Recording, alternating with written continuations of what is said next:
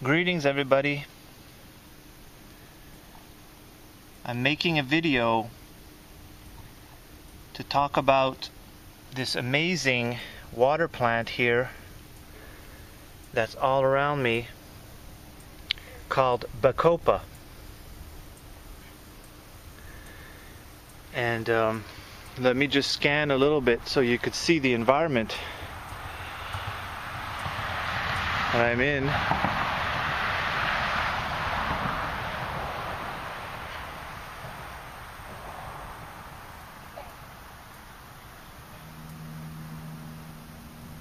I'm in my right now I'm standing in about like two feet of water. And um, this plant basically is about three feet high. So there's about like a foot sticking out of the water and two maybe two feet in the water now and look it's the uh, here I'm in the water right now. I got a bag here with me and I'm harvesting the bacopa. Now if you if you google bacopa B A C O P A and oh you can't see in this video but this here goes down like maybe for a mile down that way and from there to there is just okay. full of so, bacopa. Um, like there's I decided so I might as well just go here, here and, um, I mean, I couldn't even know what to do with all of do a little bit of research in Google and also show you some of the um, some of my findings last time I did some research here. So it it's pretty obvious if you put in Bacopa right? See B A C O P A. Let me uh, zoom up on here. Bacopa in Google, you get like, see, this is like almost 3 million hits. This is because this herb is very uh, praised and very useful in Ayurvedic medicine in India. It's been used for a long time. It's actually been used for a long time um, also uh, in Europe, in uh, in Greece, you know, uh, the the Greeks knew about this stuff. The um, the Babylonians knew about this stuff. This stuff is they have um, they talk about something similar in the Bible. So I mean, that's how long this herb has been uh, has been used, you know, for uh, medicinal slash also uh, spiritual purposes. So you find a lot of this on the internet, the Bacopa. Um, it, it, they call it uh, Brahm, Brahmi in uh, India. It's in also in China, uh, in Africa, everywhere. But um, I'll, and I'll get back to that. I just want wanted to show you now one thing here. The um, the Bacopa that has been mostly studied and that you find here, Bacopa, you know, this of Bacopa number one herbal, is mostly the what they call the Bacopa uh, monnieri, the Brahm uh, Brahmi. However, um, where I find okay, I found this American Journal of uh, PharmTech Research, and they um, and they studied here the uh, anti. Uh, let me zoom it up a bit the anti antiamnesic and in vitro antioxidant effect of ethanolic extract of Bacopa caroleana. See, Bacopa caroleana, the caroleana is the one here that we find in the United States, okay, and um, and probably um, also in Mexico and um, in South America. It's the tropical, subtropical um, area. Uh, they say the bacopa is like a pan-tropical plant, which means it's all over the planet as long as you're in the right climate. And so the question one might ask is uh, the the the, the Indian medicinal herb Brahmi, okay, which has a lot of study has been done on it, like so much. Because think about all of the universities, you know, in China and India and everywhere that have been doing this for like you know, hundreds of years. And then uh, more recently with the molecular biology techniques, and techniques, you know, like they're really uh, doing this because they know how how how well it works. Now this Bacopa caroliana hasn't been used as much because we're basically here ju- just starting to like you know uh, uh, do some uh, laboratory uh, extracts and and then studies on it. Now they say here, and so what I was about to say is, how do we know that the Bacopa monnieri and the Bacopa caroliana um, have the same medicinal properties? Well, okay, so the research is coming in that uh, caroliana uh, has the same similar properties. However, more importantly is that they have found that these two plants, these two species, are what they call ortholog, orthologs. Okay, they're orthologous in nature. And this this term is a is a term they use in genetics, which means that um, you could have two species, okay, that are very very closely related genetically, but they they have the same um, biological functions. They function the same way biologically, and and you could also have uh, that that two species that are are not so similar functionally speaking. At you know. Um, at the biological level, these two species are known to be orthologs. So that should that should just by by there you know tell us and give us an indication that what what we find on one species of Bacopa here, we'll find on the other. Okay. And so this one here, they, they were just studying like um, things about memory and things about uh, the antioxidant. Now, having said that, they studied this here on rats. Okay.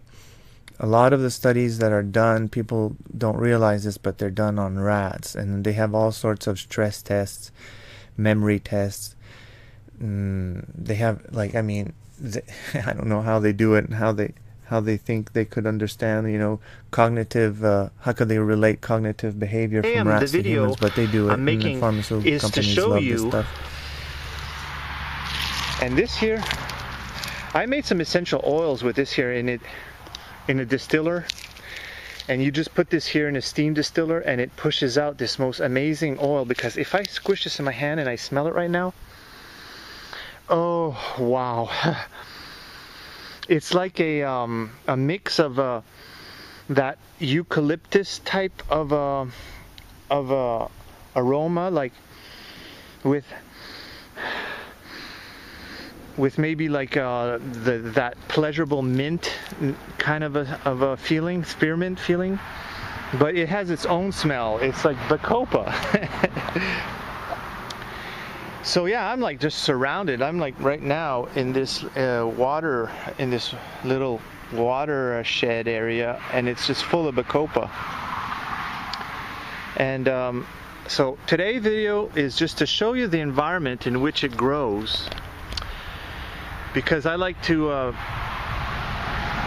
I harvest my herbs I grow my herbs and myself and uh, and I like uh, when I harvest wild medicinal plants and this is also could be eaten as food. I mean there's so many so many things they, they use it for the scalp and all sorts of stuff. But um I like to know like where the thing comes from and what's its environment. Like what's its where does it live? What's you know? See you hear that frog down there and okay. Anyways and um yeah, so this is it. I'm sharing this with you guys. And let me see, if I go down and I pull some out, completely out, and I put it here, you see that, um, here's the roots. And then there's a, it's actually longer than what I thought. Because it goes from here, the roots here, all the way down from there all the way down all the way to here so this is more like maybe four feet long. And so I'm actually going to um, take some of this here and transplant them. There's a pond behind the garden uh, uh, where I garden, you know, and there's an area in the pond where it um, the water's not too deep and it kind of goes the water level goes up and down depending on the rain, but it always stays kind of moist. And I know that there's going to be at least like a foot of water, and in maximum uh, ma- maximum water will be like about three, four feet. So I think, and and if I look here at the lighting, this seems to be like pretty much. Uh, it's not. I would not say that Bacopa is in the full light. This is partial to full, depending off the sun. You know, when the sun's down in this direction, it's shaded, partial shade, less partial shade, and if the sun moves towards here, it's full light. So it's got like some full light, but lots of partial shade. Down there, it's more partial shade, and um, so yeah. I'm harvesting Bacopa and then I will make a video later on to show you what I will do with it and uh, how I will prepare it and um, and then I'll talk more about Bacopa. So this is just Bacopa, its environment. So right. here's like a paper Thank in the uh, watching. neuro psychopharmacology uh, paper, and they talk about the effects of um, Brahmi on the uh, human memory. So um, here they actually looked at um, humans, okay, between 40 and 65 years old, double-blind, randomized, placebo-controlled. This is the kind of studies you want to look at double blind placebo with you know looking at placebo here they measured anxiety and they measured um, memory and um, I mean we don't we're not we don't have to go through all of this here but um, you know this uh, the, the the introduction is often a good place to see you know what they will they will sift through the literature the scientific literature and tell you what's already been found. See like in Ayurvedic medicine what they use this for intellect and poor memory okay?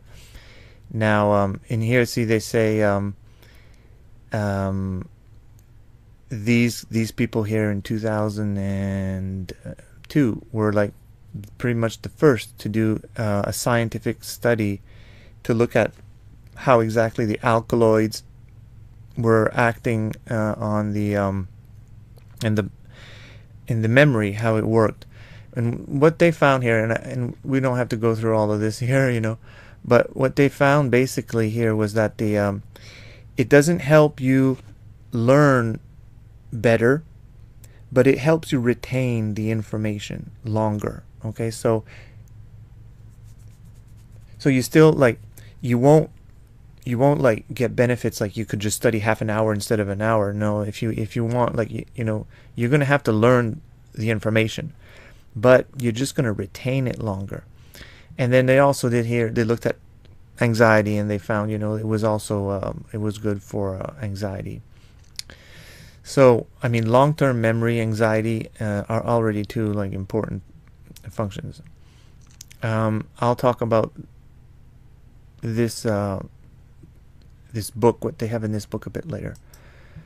Here they looked at um, extract on cognitive performance, anxiety, depression in the elderly. Here we again we have a randomized double-blind placebo.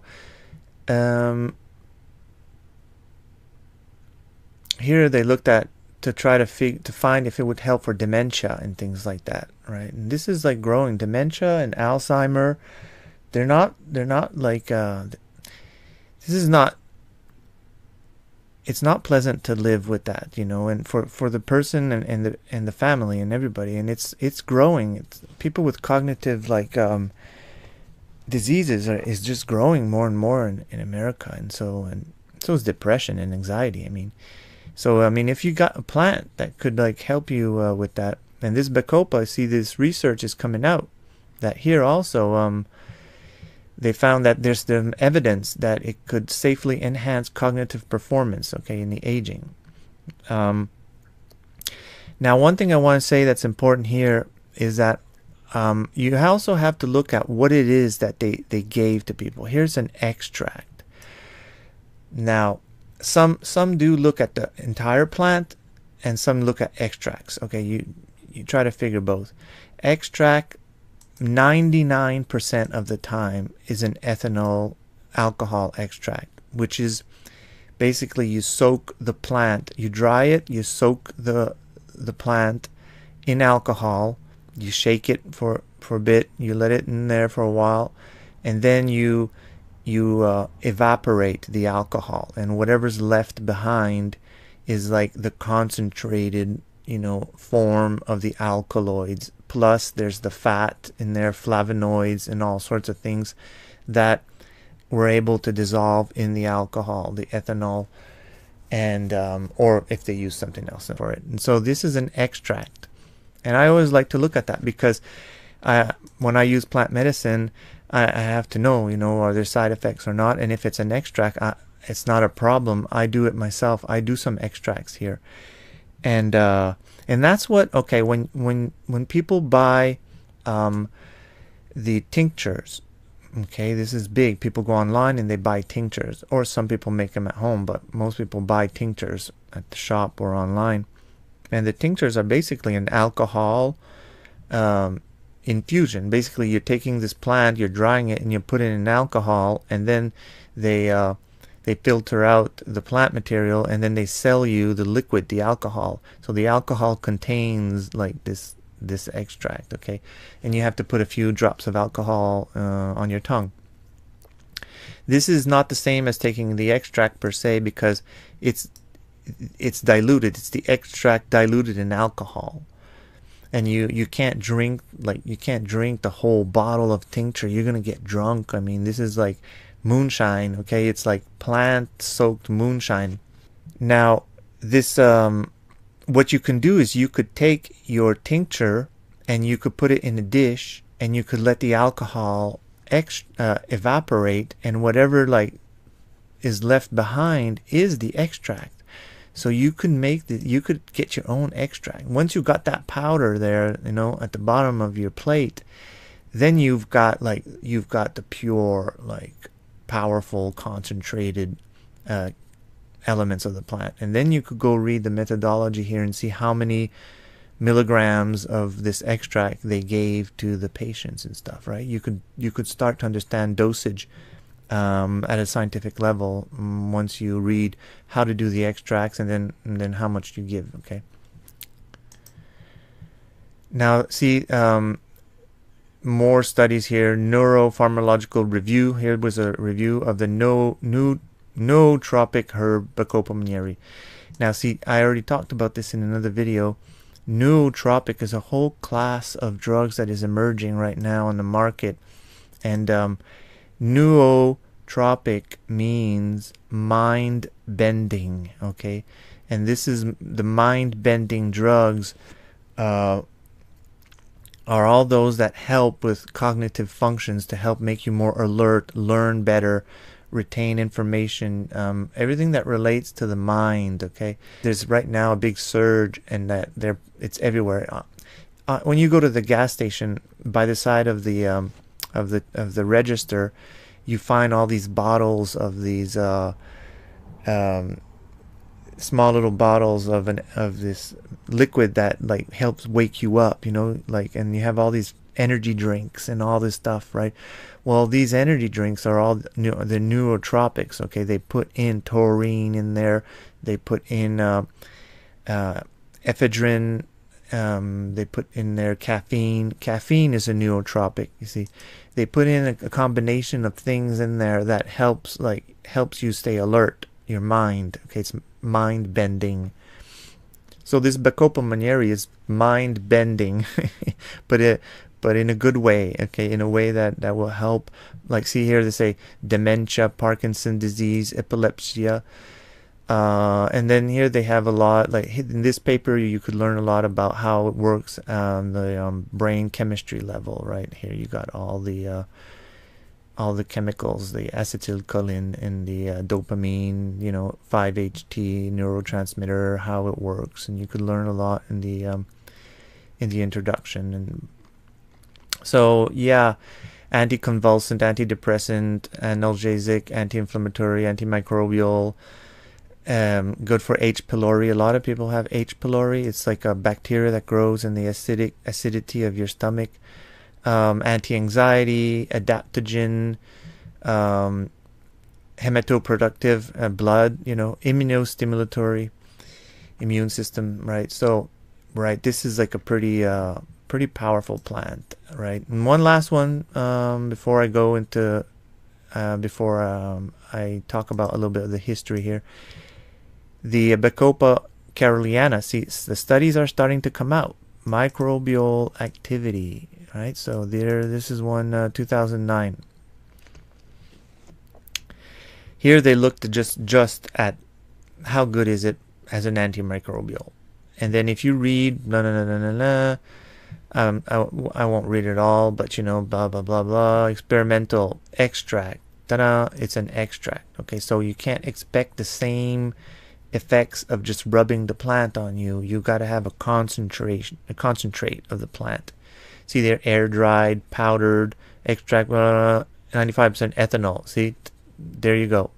It's always pretty much always this uh, soaks uh, um, is just a um, Soxhlet is just a uh, a lab a laboratory equipment that helps evaporate the alcohol. Uh, no, it helps the infusion process. You know, it soaks the um, the plant and then it, it, it brings it back up. It soaks it. It just it's loop it's looping in, and so it's like a percolation rather than just like an infusion.